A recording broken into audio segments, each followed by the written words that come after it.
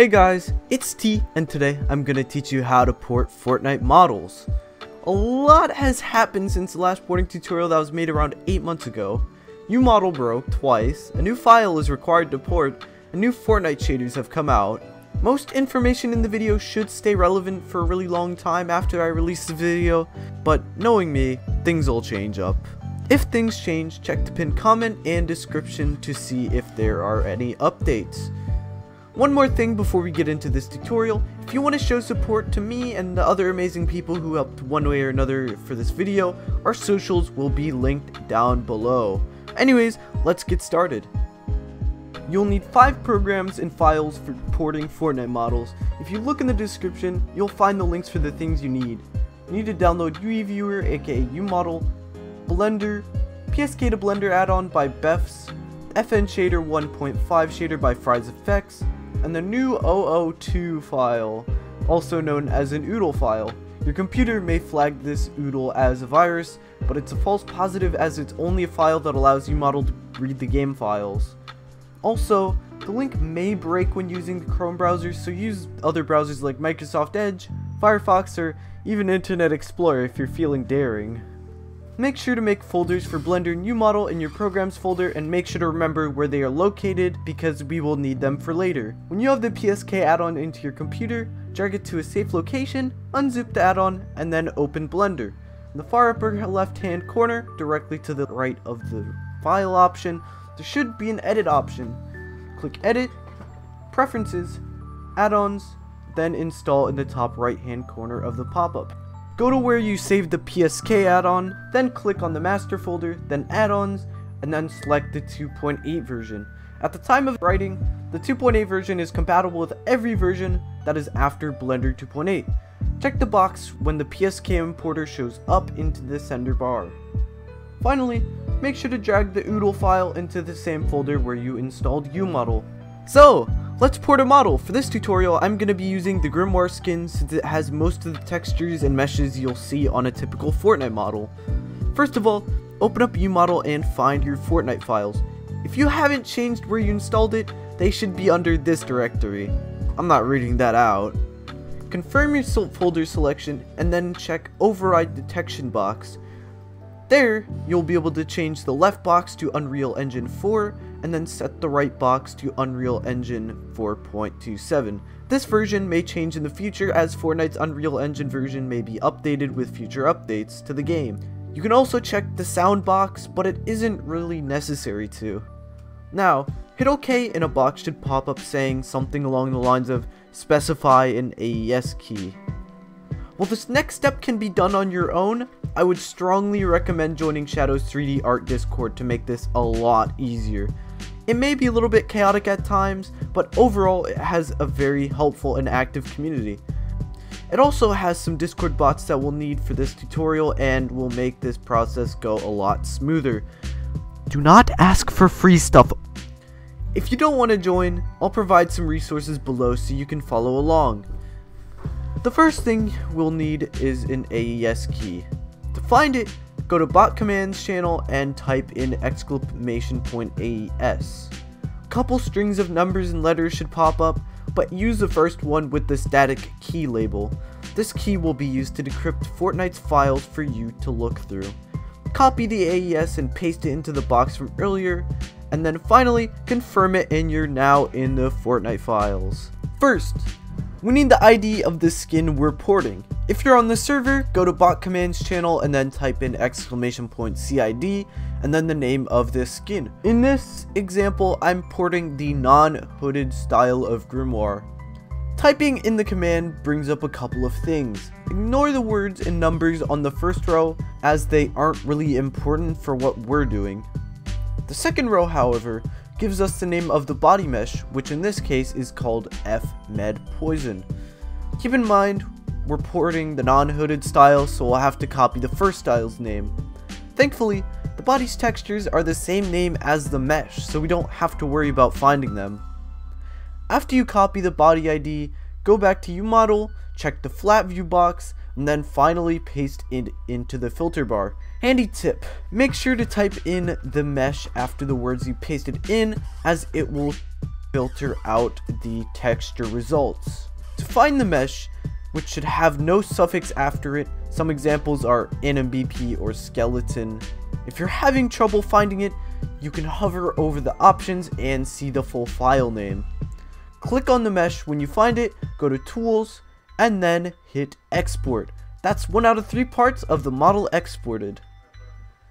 Second row of the head seems kinda complicated, but when you know what you're doing, it becomes pretty straightforward. To read it correctly, the left side of the colon shows the head mesh that we need, which in this case is F Med Battlesuit Head. The right side shows the textures or materials that the head mesh will use, which in this case is called Poison Head. So to find the head mesh, type F Med Battlesuit Head and then add mesh. Finally, click on the mesh like you did before and then export it. To find the head textures, paste in Poison Head. This should bring up a couple of results, but the one that should have all the materials you need is the materials file. When exporting, this will have the D, M, N, and S textures combined. You'll learn what they do when we get into the blender portion of the video. The final part that you need to get, the F-Med Poison FaceAcc, shouldn't be too hard to get as you port it the same way as the body in the head mesh. Alright, let's move into the blender portion. Now, let's open up Blender if you haven't already. Go to the file dropdown, import, and then click import PSK. Before looking for the model, look on the right side of the window that popped up. There should be an option box that has a couple of settings. While you can use unreoriented bones, we're going to be using reoriented bones for this tutorial. They're better for visualizing what we need to do. If you didn't change the export path, which you didn't if you followed the tutorial, navigate to the UModel folder and then find the body and head meshes. If this is your first model that you're porting, it should be pretty straightforward as there will be a, only a couple of folders that you will need to go through to find the body. Once you find it, you should hit the import button. The head mesh should be under F-Med Battle Suit Mesh, and the FaceAcc should be under the parts subfolder in the body mesh. It's not always going to be this way for all skins, so it's if it's not in parts folder in that body folder, then it's in either another body folder or in the accessories hats folder. If this is your first skin and have trouble figuring out which bone is which, make sure to go to the top right for each armature, go to the green dancing man in the bottom, also known as the object data properties, go down to the viewport display drop down, and then turn on names. There may also be some minor differences with how you merge bones, but I'll address them in the FAQ section at this timestamp. To prep our FaceAcc mesh to be joined with the head mesh, we will first need to hide our head and body armatures by going up to the top right and clicking the eye icons next to them. Then, we'll select the FaceAcc armature, go into edit mode by pressing tab, and then delete the spine, neck, and head bones from the hair. Some heads may have hair on top of their head already, and may need to be deleted, but we'll go over that later on. To prep the head armature to be merged with the other armatures, we'll need to hide the FaceAcc armature and unhide the head armature. Go to edit mode, and then delete all of the bones below neck 01 by holding left click and dragging it over the body bones. For the body armature, you're going to want to do the same thing as before, but delete only the head and neck bones. Now, to join the armatures together, you want to look at the top right of your screen, unhide all the armatures by clicking the eye, then select the FaceAcc, head, and body armatures with control left click, and then press control J to join them. Do not join the meshes though. First of all, we want to make sure our bones control our mesh. To do that, click on the face mesh and then on the blue wrench, also known as the modifiers tab. If the text is red, that means the mesh isn't synced. To sync it, you want to click the red object tab and then sync it to the armature's name, which normally has an AO at the end of it. Repeat this until all of the meshes are synced. One last thing we'll have to do before texturing, which is parenting unparented bones. That means that it has no bone controlling its position, which is pretty bad. To fix this, in edit mode, you'll have to figure out which bones are unparented, which in this case are the top hair bones and the neck 01 bone. Anyways, in edit mode, select the neck 01 bone and then the spine 05 bone, press Ctrl P, and then hit offset. We have successfully parented our neck bone to our spine bone. Finally, you're going to want to shift click every single hair bone that doesn't have a parent and then select the head bone and hit Ctrl P and then offset. To make sure that you're selecting the right bones during this process, click the bone icon in edit mode, go down to relations and then open the tab. If it doesn't have a parent, there should be nothing in the box. Anyways, with our mesh prepared, it's time to move on to texturing. Now, it's texturing time. First off, let's quickly switch over to the shading tab. In this tutorial, we're going to be using the FN Shader 1.5 standard by FriesFX on Twitter. There is an advanced version, but it causes way more slowdowns and the standard shader will suit our purposes just fine. Starting off, make sure to hit use nodes or else you won't be able to follow these steps. To texture them, drag the blend file you downloaded into your Blender window, then hit append, node group, and then FN standard shader. To add it to your shading window, go to add, group, and then FN standard shader. To add textures, you can navigate them using Blender's file browser, just open up the file explorer on your computer. We're going to use Blender's file browser for this tutorial. Navigate to where the characters folders are, and it should be under textures. For the head, it should be under skins. Now, drag the D, M, N, and S textures into your shader editor. You can also drag the FX texture as we'll talk about it later on in the FAQ section in the video. Your image textures will be orange, but mine are just teal. Anyways, leave the D texture be, but turn the S and N texture to non-color. Plug all of the textures into their correct labels, which should be self-explanatory.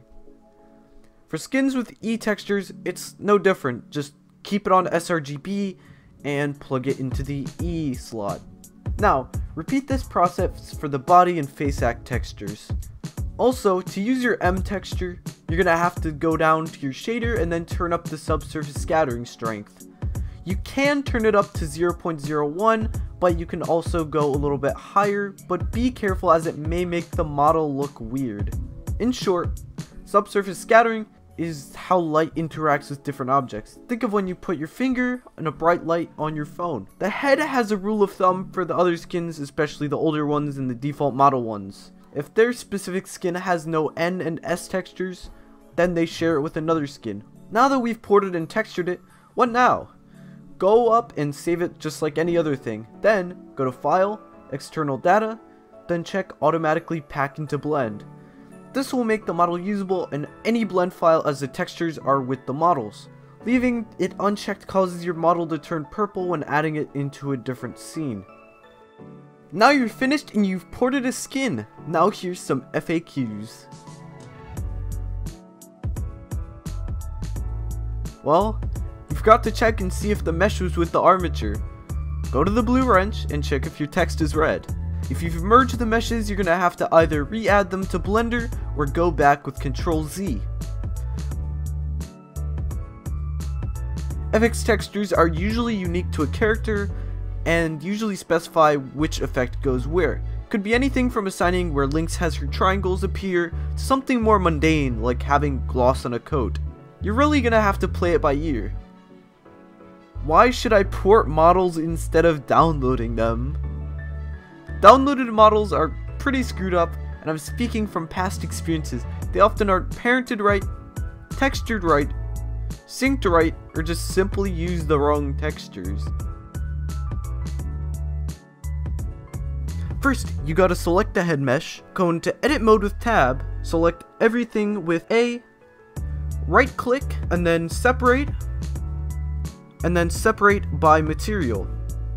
Then, you can safely delete the hair mesh, and then just leave the head mesh. You also may need to delete extra bones that came with the hair, but it shouldn't be too bad as it is apparent which ones are synced to the hair. Anyways guys, that's about it for this tutorial. Hopefully this video helps you and maybe even your friends port a Fortnite model. Maybe you can teach somebody things as well, I don't know. Once again, if you want to show support to me and all the other people who enabled this to happen, make sure to drop them a follow on Twitter or just on any of their socials to be honest. Yeah, I'll see you guys later.